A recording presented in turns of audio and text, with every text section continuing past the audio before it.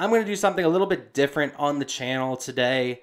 I'm going to go through the top five drivers, in my opinion, are the very best NASCAR drivers who never won a Cup Series title.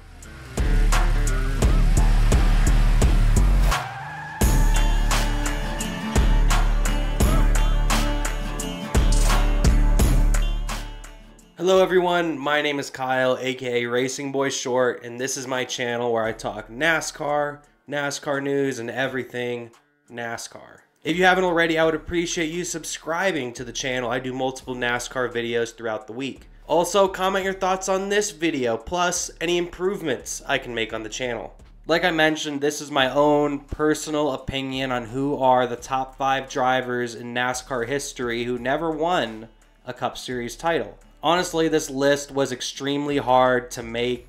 I had to make some cuts that I really didn't want to make, but I had to cut it down to five. A very difficult list to make here today. I already know there's going to be a lot of people not agreeing with my list. But let's get to it. My top five drivers without a Cup Series title. At number five, I had to pick that kid from Missouri, Cousin Carl, Concrete Carl, the guy that does the backflips, Carl Edwards. Carl Edwards is always one of the most heartbreaking NASCAR stories for me because I was such a big fan of him growing up. I remember him winning that 2007 Busch Series championship and breaking through in the Cup Series with some wins in that Scott's number 99 Ford, especially that one at Atlanta over Jimmie Johnson. Very early on in his Cup Series career, Carl Edwards proved that he would be a championship threat every single year. And he kept up with that. Every single year that he was in the Cup Series, I considered him a legitimate championship threat. Over his career, he had 28 wins and 220 top 10s. A phenomenal career from Carl Edwards and a really great 2015 as well because he won the Coca Cola 600 and the Southern 500 at Darlington in the same year. He finished runner up in the championship twice, once in 2008 and once in 2011. 2011 was heartbreaking, though, to say the least, as he tied Tony Stewart in points after the final race of the season, which decided the championship for the very first time on a tiebreaker. That tiebreaker was wins. Tony Stewart had five wins on the season compared to Carl Edwards' one. So Carl Edwards did not win the championship, losing in a tiebreaker to one of the greatest drivers in NASCAR history, Tony Stewart. And then just a few years later, Carl Edwards was once again in prime position to win the championship, is running away for the 2016 NASCAR Cup Series title. And after a late caution that NASCAR later apologized for, this was in the era of NASCAR throwing debris cautions. Carl Edwards was running away with the championship, and NASCAR threw out a late caution, setting up a late restart. And on this late restart, you'd see Joey Logano dive to the inside of Carl Edwards right after the start finish line. Carl Edwards tries to throw a block, ends up wrecking himself off the nose of the number 22 and crashing into the inside wall. Carl Edwards, in the prime of his career, was this close to getting that first championship and honestly should have won it in 2016. So we all expected him to come back in 2017 and once again compete for the championship. But in that offseason, we had a surprise retirement from Carl Edwards.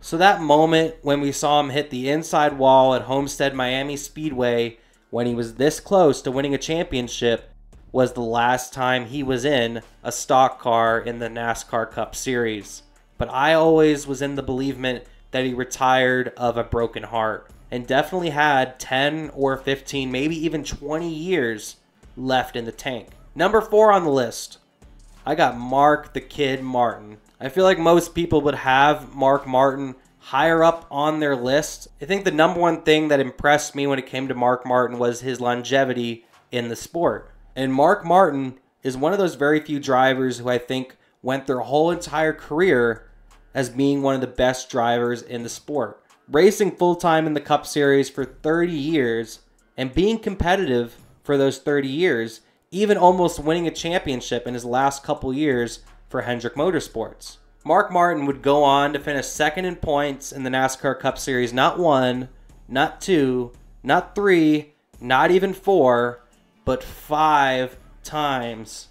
Talk about heartbreak. Mark Martin would end up retiring with 40 wins and 453 top 10s. Two of those wins coming in the Southern 500 at Darlington, plus a 2002 win in the Coca Cola 600. And I don't think there's any driver in history that has more of a story of second than Mark Martin. Like I mentioned, he finished second in points five times. He also had that really epic moment in the Daytona 500 years ago when Kevin Harvick won the Daytona 500, just edging out Mark Martin in that U.S. Army Chevrolet. He's also considered by many to not be the best, but the second best Busch Series driver in history with 49 wins. Most people would consider the best to be Kyle Busch. And now we're on to number three. And I feel like most people would not have this driver on their top five list. Some might not even have him on their top 10 list. But this driver passed away way too soon. And this driver was definitely on to amazing, amazing things. And I'm, of course, talking about the coolest guy in the history of everything Tim Richmond. This guy was cooler than cool. Tim Richmond had so much personality, so much style, but even more than that, he probably was the most skillful race car driver of his time. Tim Richmond, of course, being one of the very first drivers making the move from open wheel racing to stock cars. Racing in the Indy 500 a couple times in the early 80s, eventually making that jump to NASCAR. And honestly, that was the smartest career decision of his life. Was not a bad open wheel racer, but just something about those stock cars just really agreed with his driving style. As in the 80s, I would consider him probably the best road course racer of the 80s, was probably the first really talented NASCAR driver at road courses. Tim Richmond, of course, would not have a lot of the stats that a lot of drivers on this list have. Once Tim Richmond's career was over with, he finished with 13 wins and 78 top 10s. But in 1986, he would really set the NASCAR world on fire as he won seven times during that Cup Series season, including a win at Darlington in the Southern 500. But then in the offseason of 1986, heading into 1987, he would become ill. A lot of people did not know of his illness and why he was sick at the time. He would end up missing the beginning portion of the 1987 season. But then when he did come back, he won two more races giving him nine wins in two seasons. He would end up leaving Hendrick Motorsports at the end of the 87 season, looking to get back into the sport in 1988. A lot of difficult things when it comes to drug testing and stuff like that, and his medical testing during that time affected his comeback and even had legal issues potentially as well. All that talk is for another video on another day. But unfortunately, Tim Richmond was not able to make that comeback in 1988 and make a Cup Series start, even though he's shown to be potentially one of the best up and coming racers in NASCAR. August 13th, 1989. As on this day, we lost the life of Tim Richmond. Tim Richmond was only 34 when he passed away. Like I mentioned, only had 13 wins to his name at the time. It was proven in that 1986 season and when he was able to come back for a few races in 1987 that this driver was going to do amazing things in the Cup Series. Well, unfortunately, his life was cut short by AIDS. It wasn't known at the time, but he passed away early due to AIDS. Like I mentioned, I don't think a lot of people would have him on their top five or even their top 10 purely because of stats. But I'm looking at driver skill. And if we're looking at pure driver skill, I probably would have put him at number one. Because he proved in that very short time that he was something really special and could have potentially been one of the greatest drivers who ever lived, could have even been a multi time champion.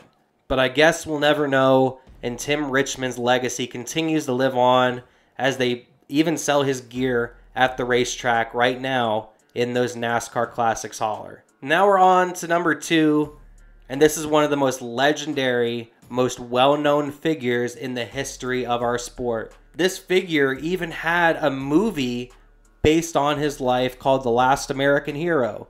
And I'm, of course, talking about Junior Johnson. In the early days of NASCAR, Junior Johnson was the epitome. He was NASCAR in those early days. A lot of people point at Junior Johnson as one of the smartest and most innovative people in NASCAR history. He's also considered to be one of the best team owners in NASCAR history and drivers.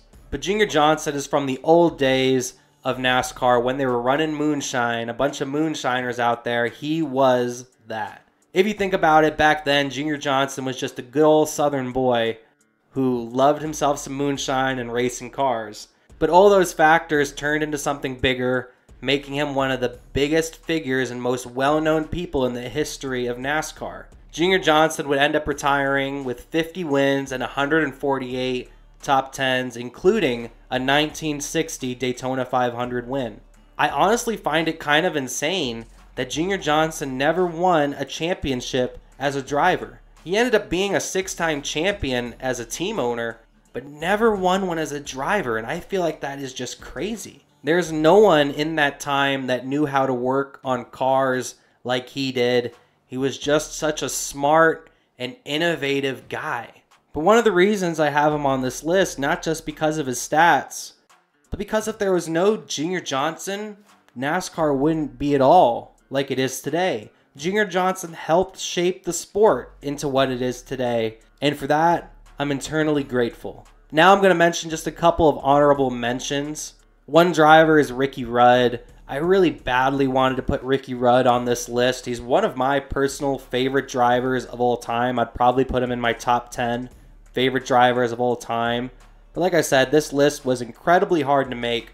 But Ricky Rudd's longevity in the sport is very impressive, very comparable to a Mark Martin or a Jeff Gordon with how long they were able to be competitive in the sport. Another driver I really thought of including in this list was Davey Allison. Davey Allison, like Tim Richmond, ended up passing away too soon and could have been something so much bigger than what he was. Davey Allison was a proven winner, even facing hardships of himself, including injuries. Was a driver that unfortunately passed away too soon. Now on to number one.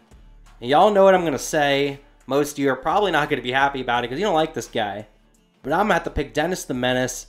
Denny Hamlin is the greatest driver in NASCAR history who has never won a Cup Series championship. Denny Hamlin winning the Rookie of the Year in 2006 has been a championship threat every year of his career. Even in 2006, going into that final race at Homestead, he was eligible to still win the championship going into that final race. He was one of the very few drivers that still had a chance at winning that 2006 title. Denny Hamlin, of course, has been very close to winning the championship on multiple occasions, as he's been to three championship fours and also has a runner up finish in the championship in 2010. So these stats are as of April 22nd of 2024. So these stats could potentially be different when you're looking at this video. But at the moment, Denny Hamlin has 53 wins and 343 top 10s. And included in those wins is three Daytona 500 championships, which is fantastic. Puts him in elite company, plus a 2022 Coca Cola 600 win. There's been talks over the years will Denny Hamlin ever get that championship? He's getting into the later stages of his career. But we've seen so far in the 2024 season that Denny Hamlin is still clearly a championship threat. Honestly, I don't really like comparing sports, but what Denny Hamlin's going through right now reminds me a lot of years ago before LeBron James got his ring. I remember a lot of people on social media, a lot of people on TV, a lot of personalities were really giving LeBron James a hard time and honestly making fun of LeBron James not getting a title yet. I see a lot of the same things with Denny Hamlin. I'm not saying Denny Hamlin's the LeBron James of NASCAR. Don't get that misconstrued. He's not. But Denny Hamlin is definitely one of the best NASCAR drivers ever. In my opinion, is the best driver who has never won a Cup Series title. If you asked me a couple years ago, what do I think about Denny Hamlin winning a title? I would have said it's a matter of time before he wins that title. And now I have to say he's running out of time. Denny Hamlin, I think, has maybe five, six, maybe seven more good years left. He still has a couple of opportunities to get that championship. But like I said, he's running out of time. I'm hoping next year I can remake this list and not include Denny Hamlin on it. But that's my list for the top five best NASCAR drivers who've never won a Cup Series title. Let me know your thoughts in the comments. What did you think of my list? Give me your own top five. Who do you think are the top five greatest Cup Series drivers to never win a title? But that'll do it for this video. My name is Kyle, aka Racing Boy Short, saying peace.